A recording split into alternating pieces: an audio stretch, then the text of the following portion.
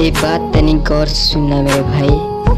हार की परवाह करने वाले को कभी जीत नसीब नहीं होती।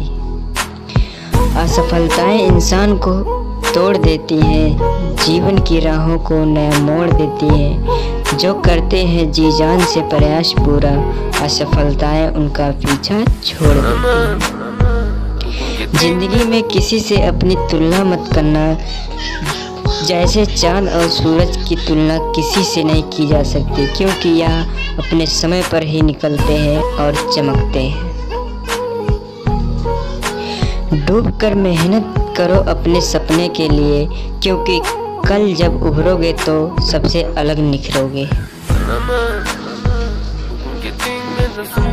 मेरे दोस्त, सफलता तब मिलती है जब आपके सपने आपके बहाने से बड़े हो जाएँ।